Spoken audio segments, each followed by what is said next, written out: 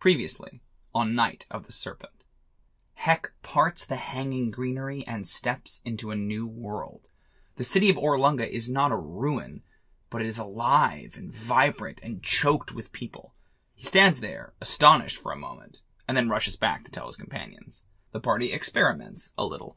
Stepping into the city transports them into the past. Stepping out of the city returns them to the present. Buffered by the knowledge that they can return to the present, the heroes of Red Bazaar, as one, enter Orolunga. Orolunga is a pentagonal city, surrounded by misty mountains and jungled hills. The streets are a riot of noise and color, obviously in the middle of some sort of a raucous festival. When they first step over the threshold, there are thousands of people in sight, all Chultans, laughing and celebrating and shopping and singing.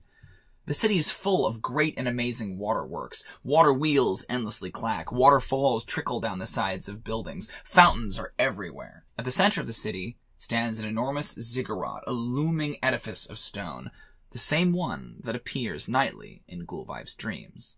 In Gûlwyf's dream, that ziggurat was the only safe haven in a jungle thronging with undead, and at its summit was a red flashing light, like a beacon, drawing her in. So that's the way that the party heads. To the citizens of Orolunga, the heroes of Red Bazaar are quite a sight. Vorn draws many eyes, but so does Thirteen, Tabaxi unknown at this time on Chultan shores. Gûlwyf is met with distrust and suspicion, and Hek, used to being fawned over by humans, is somewhat nonplussed when the Chultans appear nonplussed by him, an ordinary Aarakocra. By Eku's reckoning, they are approximately 200 years in the past. Ubtao is still dead, but Chult remains a thriving nation with a ruling monarchy and no undead hordes ravaging the countryside. Eku also knows, however, that a terrible calamity began in Orolunga around this time, it was here that Ras Nsi began his reign of terror, rolling over the city with an undead horde from nowhere. When they reach its foot, the ziggurat is a massive structure, tall as a mountain, blotting out the sun. Waterfalls cascade down its five sides, pouring from the open mouths of gigantic jaguar heads. Standing guard at each staircase, however, are two enormous warriors, the Bare ancient super paladins of Ubtao. They are eight feet tall, muscled like demigods, and all women. Amazons, basically. They do not let the party pass. According to the Bare, the Protector has given them explicit instructions that he is not to be disturbed. When all attempts to persuade them fail, Hek reasons he'll simply fly to the top of the ziggurat and talk to the Protector himself. Then the Bare demonstrate their incredible leaping ability, jumping 30 feet in a single bound. Stymied, the group decides to learn what they can about where, and more specifically when, they are. By questioning the locals, the party learns a few important details. They learn that tonight is the Night of Serpents, a festival thrown to honor all of Ubtao's Coatls. At this time, the Coatls are all dead, along with Ubtao, devoured by the rapacious Dendar, and it makes Eku a little emotional to see all the feathered serpent decorations. They also learn, and overhear, that a parade is winding its way through the temple district, while most of the party goes to investigate, Hek flies overhead and surveys what he can of the city. The parade is a menagerie of beautiful sights. Dancers, revelers, musicians, flower petals that seem to rain endlessly from the sky, massive paper coatls that gambol through the streets. Among all the fun and games, however, they see a man in a cage, dragged through the streets like a trophy, like Vercingetorix through Rome. And this, they learn, is Ras Nsi. They learn that he simply led a small cult in the hinterlands. A kidnapping here, a human sacrifice there. Unpleasant stuff, but nowhere near on the scale of what he would eventually accomplish. Recently apprehended, it is the Protector's decision what will happen to him now. High overhead, Hek discovers something odd. The higher he goes, the further he sees, and the further he sees, the hazier and blurrier everything becomes. While the city appears normal. The further he goes outside of the city, the less the world seems to render in a sense. Like a character in a video game that runs up against the edge of the rendered world, he's left with a distinctly Truman Show vibe. Hek returns just in time to hear a familiar roar. His heart clenches in terror as an enormous bipedal dinosaur, the king in feathers, stomps around the corner. But it's only a parade float meant to honor the fearsome beast. But Hek is surprised at his sudden and almost supernatural terror at seeing even this facsimile of his chosen foe. In the end, there's nothing for it. They must warn the Protector about Ras Nsi's future. But, as they leave the temple district, they can't help but notice a small shrine, one of hundreds, one on each street corner, meant to commemorate the Coatls. This one, they recognize after careful study, was meant to honor Eku. The Coatl has nothing to say, lost in the memory of ancient days. It takes all of 13's persuasive power, but they manage to grant the party an audience with the Protector. Escorted by the Bari, they climb the ziggurat and approach its summit. Behind velvet curtains, they encounter a fantastic beast.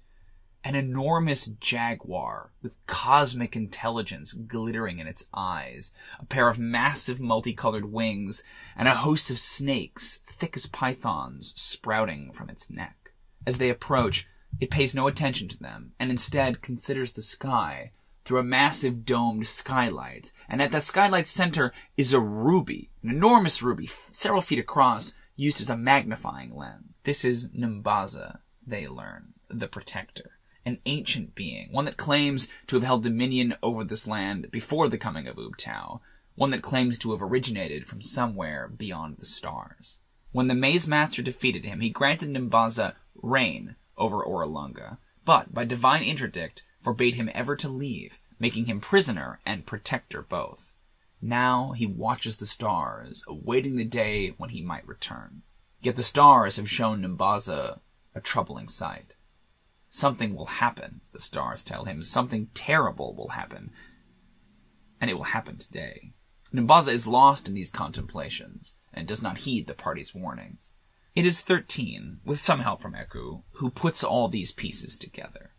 Nimbaza, they realize, is dreaming and they, this city, this festival, are all contained inside the Kamadan's dream. The party realizes they must leave the city, re-enter the city, climb the ziggurat, and speak to Nimbaza in the present. Eku even offers to eat his dream and hopefully free him from this nightmare. In exchange, Nimbaza gives them a word.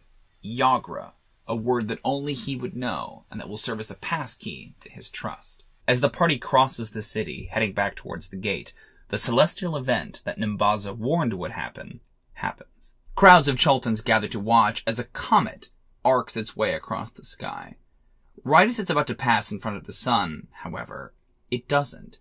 Instead, it seems to strike the sun and fill the sun with a dark energy, blotting it out almost like an eclipse, turning the world purple and eldritch and wrong.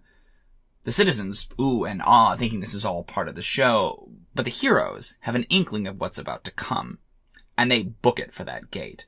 As they run, a smell overtakes them, a putrid, fetid stench, the smell of death, or more specifically, the smell of undeath, a smell that fills Gûlwyf's heart with terror. But they manage to make it to the gates, and as they push their way through, the oohing and awing of the people turns into screams. But then, they're through the gates, they're back in the familiar jungle. Behind them, Orolunga is nothing but a ruin, but it's a ruin they must cross in order to find Nimbaza at the top of his ziggurat and wake him up. And that's where we stopped. That's where we ended the session. So how did it go? Ah, it was really fun. It was really rewarding. These are my favorite kinds of sessions that are just like these giant sandboxes that are full of world building and lore and culture and, I mean, like fantasy, right? Uh, of course, the flip side of that means that that's a lot of prep that you have to do. And as is the nature with these things, right? Like they didn't see two thirds of the stuff that I prepped, but they, you know, they felt like they could have. Uh, they felt like they could go anywhere and see anything, and that's that's really the point. Anyone who's read Tomb of Annihilation will know that this is very different from the way that Orolunga is presented in the books. And I liked a lot of the pieces. There's a time travel component in the book, and there is like this all-knowing sage on top of the uh, the ziggurat. Um, and it's an overgrown city. So I liked all of that, but I wanted to sort of spin it in a way where it would work better for my campaign. I was pretty happy with the Bari too. Uh, obviously, they're very different from how they're presented in FR. There's a lot more lore and history to them in FR. I just sort of needed something that would feel bigger and mythical and not really around anymore. And I liked these sort of big Amazonian super paladins. Uh, they have a lot of the same abilities as the Bari, like command and uh, regeneration, stuff like that. But I liked them sort of as this Kingsguard almost. I also feel like this session helps solidify some history for the party. So 300 years ago, Ubtao died, and then 200 years ago, Ras Nsi appeared, and then 100 years ago, Ras Nsi disappeared. And so you kind of have these different epochs, and so it's interesting to see them sort of like contextualize. Okay, where are we? We're in sort of the second epoch, where Ubtao is dead, but Ras Nsi's not gone, rampaging here, like right on the cusp of it.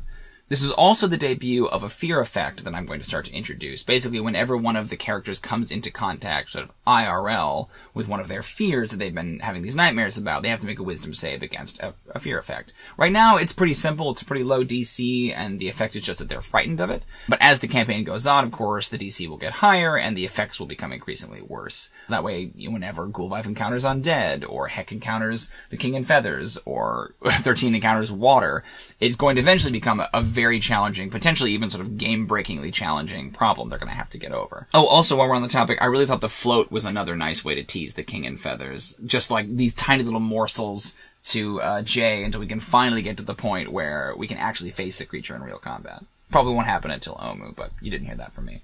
Nabaza was inspired by the, I think Saja N'baza is their name in the adventure, and they are a Naga and like a sage. And so my version of them was inspired by that. I'm trying to do this thing with the Chultan cities where each one of the nine trickster gods sort of has a, an appropriate city.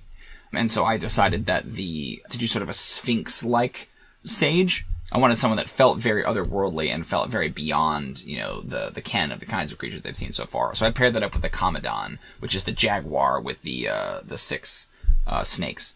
I felt like there was a good synergy there. He was also a little bit inspired by uh, The Tower of the Elephant, which is a Robert E. Howard Conan short story, uh, which Conan tries to rob this tower and steal this gem and encounters this otherworldly being at its summit, who's been imprisoned there by sort of forces beyond his control. The word that he gives them in the adventure, uh, Yagra, was my best recollection of the name of that being, which I've since looked up and is actually Yara. I think Yagra is like mm, slightly better name than Yara, but that was my little nod to uh, Tower of the Elephant. It was actually Kay's idea idea, and I rolled with it in the moment for the entire thing to be a dream.